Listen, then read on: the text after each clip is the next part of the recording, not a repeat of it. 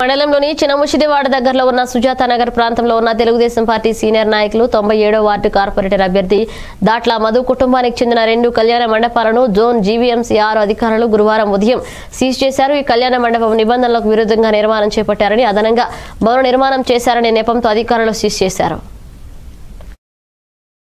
రాత్రి పెళ్ళుంటే ఎక్కడ పోతారండి మీరు? చెప్తున్న వైసీపీ రోజులు మారాలా? మీ బాగోతాలు పైన పెట్టి మొత్తం అన్ని ఈడ్చిడ్చి పైకి లాగుతాను. బండారు రచన ముందు ఐదేళ్ళు తిరిగి ఇక్కడ పరిపాలన చేయలేదు.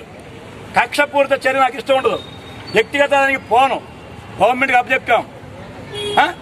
ఒక కళ్యాణ మండపం పెట్టారు మా కమ్యూనిటీది. నా మీద బు- బురద చల్లారు విజయసాయి ప్లానింగ్ బోర్డులో మాట్లాడలేదు.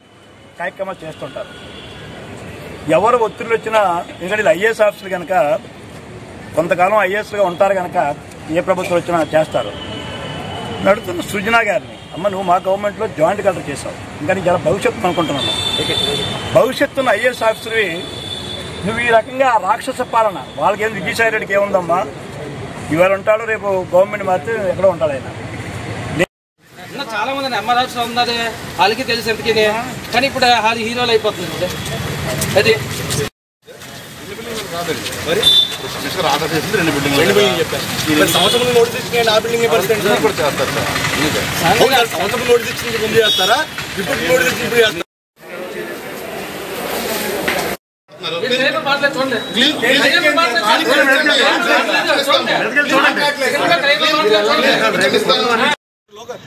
పర్మిషన్ ఉన్నాయి కనీసం.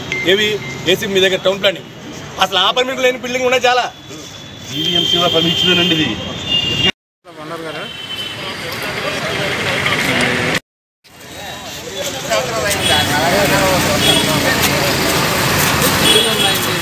ఉంది commercial is different from function sir రెండు ఫ్లోర్లు ఉంటాయి మిగతా ఫంక్షన్ కూడా రెండు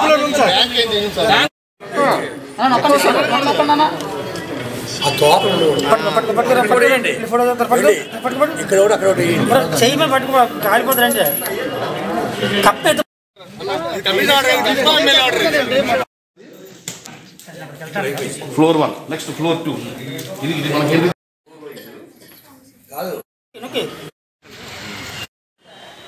విజయనగర్లోని ఇప్పుడు లైవ్లో ఉన్నాయి కొన్ని మీకు కన్స్ట్రక్షన్స్ కనపడుతున్నాయి సార్. అది దాని మీద ఎలాంటి యాక్షన్ తీసుకోవట్లేదు. ఇదంటారు ఇప్పుడు ప్రెసెంట్ లైవ్లో కొన్ని కన్స్ట్రక్షన్ జరుగుతున్నాయి. అనాథరైజ్ కన్స్ట్రక్షన్స్ అంటే అన్ని అనాథరైజ్ సభగా కొన్ని ఆన్ గోయింగ్ కన్స్ట్రక్షన్స్ మీరు చెప్పేవన్నీ కూడా లైవ్ కన్స్ట్రక్షన్స్ అంటే దాంట్లో పర్మిషన్ ఇచ్చినవి ఉంటాయి ఇవన్నీ ఉంటాయి. అంటే ఇవ్వ ఇవ్వడం ఇవ్వకపోవడం క్వశ్చన్ కాదు ఇక్కడ. తీసుకున్నాయి అంటే తీసుకోలేకపోయినాయి ఉంటాయి సో తీసుకొని ఏమైతే ఉన్నాయో వాటి మీద మా స్టాఫ్ ఎప్పటికప్పుడు ఐడెంటిఫై చేసి వార్డు ప్లాన్ సెక్రటరీ సహకారంతో ఎప్పటికప్పుడు ఐడెంటిఫై చేసి సినింగ్ యాక్షన్ తీసుకోవడం జరుగుతుంది. ఆర్కే ఫంక్షన్ ఆల్రెడీ కంప్లైంట్ కూడా ఉంది సార్ అటువంటి స్పెసిఫిక్ ఏమైనా ఇష్యూస్ వస్తే తప్పకుండా ఆల్రెడీ ఉన్నది సార్. పబ్లిక్ కంప్లైంట్ అంటే ఏమైనా అంటే నేను కొత్తగా వచ్చాను కాబట్టి ఇప్పుడు నేను చెప్తున్న ఇష్యూస్ పాత ఏసీపీ గారికి పాత ఉండొచ్చు. నాకు కొత్త కాబట్టి నేను ఇమ్మీడియట్గా మీరు చెప్తున్న అన్ని కూడా పరిగణలో తీసుకుని వెరిఫై చేసి చర్యలు తీసుకుంటాను. సార్ మీరు వచ్చిన తర్వాత నిన్న జాయినింగ్ అయ్యారు కదా సార్. ఇప్పుడు గోపాలపట్నం బ్యాగ్ చేసిన రాయల్ ఎన్ఫీల్డ్ షోరూమ్ వాళ్ళు ఉన్నారు కండి ఆ షోరూమ్ వాళ్ళు ఏం చేసింది? ఏకంగా పబ్లిక్ కాలువను తప్పేసి ప్లాట్ఫారం తయారు చేస్తున్నారు సార్. ఇది శానిటైజేషన్ కంప్లైంట్ పెట్టారు. వాళ్ళు అడిగితే పబ్లిక్ హెల్త్ పబ్లిక్ హెల్త్ నుంచి ఇంజనీరింగ్ ఇంజనీరింగ్ నుంచి టౌన్ ప్లానింగ్ అన్నారు సార్. ఇంతవరకు నిన్న మార్నింగ్ నుంచి స్థానికులు దగ్గర పది పది మంది కంప్లైంట్ పెట్టారు. ఇంతవరకు దాని మీద యాక్షన్ తీసుకోలేదు సార్. నేను నోట్ చేసుకుంటాను సార్ ఇప్పుడు మ్యారేజ్ కొన్ని ఆల్రెడీ బుక్ ఉన్నాయి సార్ వాళ్ళ పరిస్థితి సార్ అది? వాళ్ళకి మా డిపార్ట్మెంట్ సంబంధం లేదండి అది. కళ్యాణ మండపం వాళ్ళకి ఆల్రెడీ మేము ఇరవై ఐదు పదకొండు నోటీస్ ఇవ్వడం జరిగింది.